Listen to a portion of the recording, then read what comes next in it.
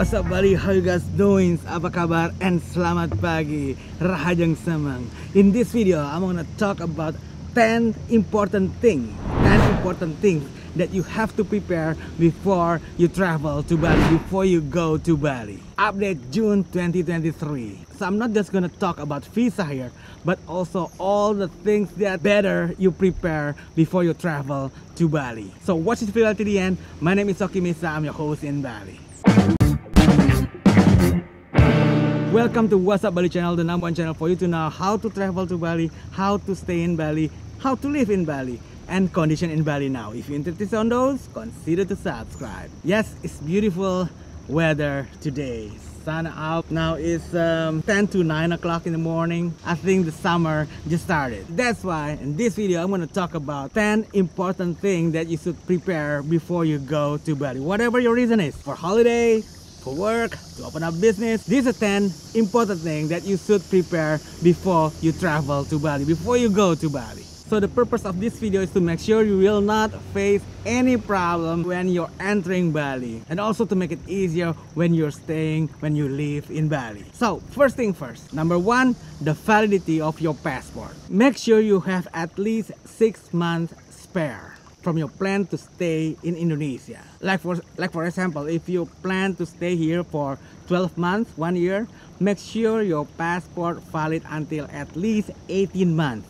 So six months extra. Because to extend your visa, need to have six months validity. So make sure you have six months extra from your plan to stay in Indonesia. And number two, the visa, of course. Make sure you got the correct visa with your travel plan. If you're citizen of nine Southeast Asian country or you're coming from Timor-Leste, you're entitled to get 30 days free visa. And if you are citizen of these 92 countries, you can pause this video to see if your country is in it. If you're citizen of these 92 countries, you are entitled to get visa on arrival. To get the visa on arrival, you can either get it from online this is the link I also mentioned down in the description the molina.imigrasi.go.id or you can get it at the airport in Indonesia in Jakarta, Surabaya, including Bali of course. To get this visa on arrival visa, make sure that your passport still valid for six months and you got return ticket or ticket to other country as your next destination within 60 days. Yep, you can only stay for 60 days with the visa on arrival. First you got the 30 days and then you can extend for another 30 days. So total 60 days. And for you who is a citizen not included in that countries that can get the visa on arrival. You can also go to that website, the molina.imigrasi.go.id and get the 211A for tourists. That visa also valid for 60 days and cannot be extended. I already talked about it in my previous video, this video. Okay, I'm gonna also mention it down in the description. Now, for digital nomad who want to stay more than 60 days let's say for six months or even more a year or something. Or for you who want to apply a kitas like working kitas business kitas retirement kitas etc you need to get the b211a visa. And for that you have to apply through visa agency. Like me for instance because you need a sponsor and we the one who gonna be your sponsor with this visa as I said, you can stay more than 60 days, 6 months, a year, even more. So for digital nomad, this is your visa. And if you want me to do your B211 visa or your KITAS, send me email. Okay? I'll also mention down in the description. And now number 3, vaccine certificate. Yes, some airlines still ask for vaccine certificate before your boarding. So it requires two doses minimum. Except if you have the Johnson vaccine, then you only need to have one dose. So vaccine certificate, some airlines still ask before your boarding. But they are not gonna ask it at the airport in Bali. And number four, driving license. If you plan to ride a scooter in Bali, yes, you still can rent and ride a scooter in Bali. Just make sure you got your international driving license in your country. Because some rentals now ask for your international driving license. And make sure your international driving license also include scooter also include motorcycle. If you're already here and you don't have uh, international driving license send me email. I'm gonna let you know how to get the local driving license all right and number five and number five before you leave your country don't forget to fill in the electronic custom declaration. You remember back then before the pandemic that before you're entering a country you have to fill in a little a little paper on the plane that the that the flight attendants give it to you. Like for you, if you bring something to declare a lot of alcohol, maybe cigarette, electronic, etc. Now we are doing it through online. It's called the electronic custom declaration. This is the link and I also mention it down in description. So like two days or a night before you're traveling, before you're flying, don't forget to fill in the electronic custom declaration. However, if you somehow you forgot to fill in the electronic custom declaration, when you arrive at the airport in Bali after you collect your bag, there's a banner with a QR code.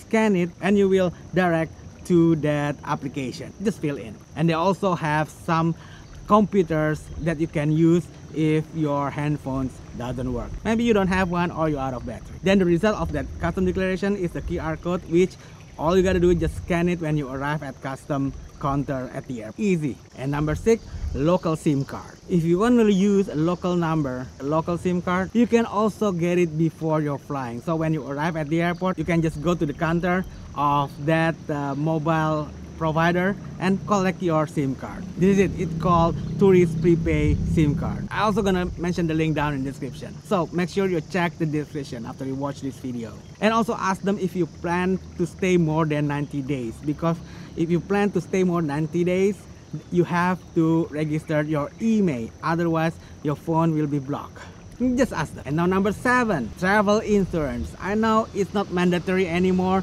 to have insurance to travel to Bali. But listen to this, you are far away from your home and our food, our weather is completely different for most of the countries. It's tropical. So that's why a lot of people sometimes got, we call it Bali belly and etc.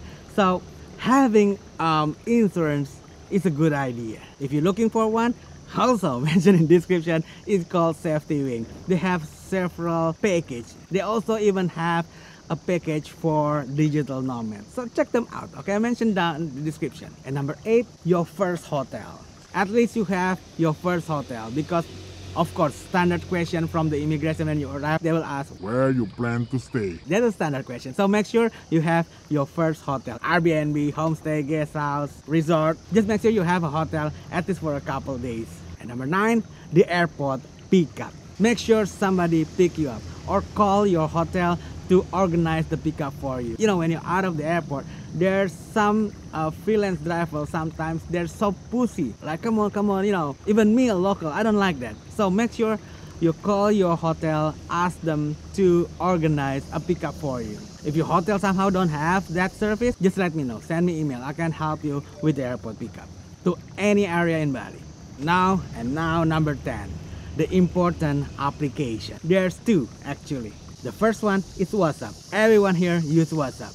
And also very convenient. Let's say if you got lost, I don't know, knock on wood, you got accident or something, you can call your host or your friend or anyone and share your location. So make sure you have WhatsApp because everyone here have a WhatsApp. And number two, the online taxi like Grab or Gojek, just like Uber in your country maybe. Here in Indonesia, we have Grab and Gojek. And they are not only a taxi, it's also include scooter taxi. Yep, scooter taxi, not, on, not only car, but we have also scooter taxi. And you can even buy food there. I already talked about it in my previous video. I think during the pandemic, I already talked about this with this application you can order food you can ask them to buy a grocery you can ask them to send something. Maybe you forget your your wallet or you forget something. In their application they have a menu from a surrounding restaurant. So you can just choose it and they're gonna deliver it for you. Even the restaurant doesn't have delivery service. So that two important application that you should have. The first one is whatsapp which everyone uses here in bali. And the second one the gojek or the grab. Oh one more thing before i close this I think I need to inform you this. You will find a lot in the restaurant, in a hotel, etc. If you go to toilet, you will read that please do not throw your toilet paper in the toilet.